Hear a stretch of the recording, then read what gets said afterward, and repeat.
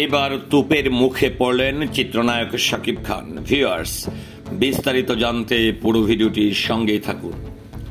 Dhallywood superstar Shakib খানকে নিয়ে প্রশংসা যেমন রয়েছে তেমনই তাকে নিয়ে সমালোচনাও কম নয়।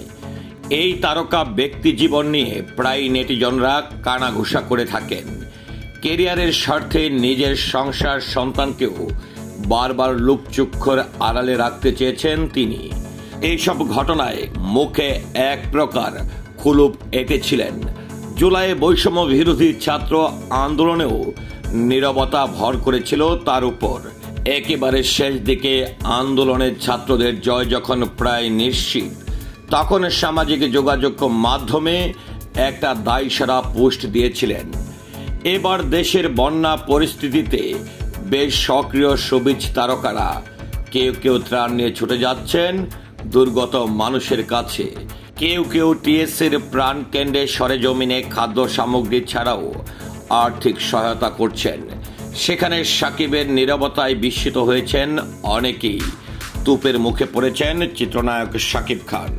সামাজিক যোগাযোগ মাধ্যমে সাকিবকে উদ্দেশ্য করে এক নেটিজন লিখেছেন, আপনি শুধু টাকাই ইনকাম করে যাচ্ছেন, আর কিছুই ভাবতে হবে না।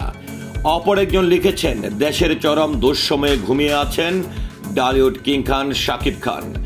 এছাড়া সবসময় দেশের বিপদে ঘুমিয়ে থাকেন। আরেকজন নেটিজন মন্তব্য করেছেন, প্রিয় খান সাহেব কন্যা ও ভানভাসীদের পাশে দাঁড়ানোর অনুরোধ করছি। ভক্ত হিসাবে এটুকু অনুরোধ। তবে বন্যায় নীরব থাকলেও নিজের সিনেমার প্রচারণায় সরব শাকিব খান। সম্প্রতি মালয়েশিয়ায় মুক্তি পেয়েছে তার চলচ্চিত্র তুফান। সামাজিক মাধ্যমে ঠিকই এই প্রচার চালাচ্ছেন অভিনেতা। সেখানেও মন্তব্যের ঘরে তুপের মুখে পড়েছেন শাকিব খান। ভিওয়ার শাকিব খানের এই নিরাপত্তা নিয়ে আপনার মন্তব্য কি? আশা করছি কমেন্টের মাধ্যমে জানাবেন। সেই সাথে পুরো ভিডিওটির সঙ্গে থাকার জন্য অসংখ্য ধন্যবাদ। আল্লাহ হাফেজ।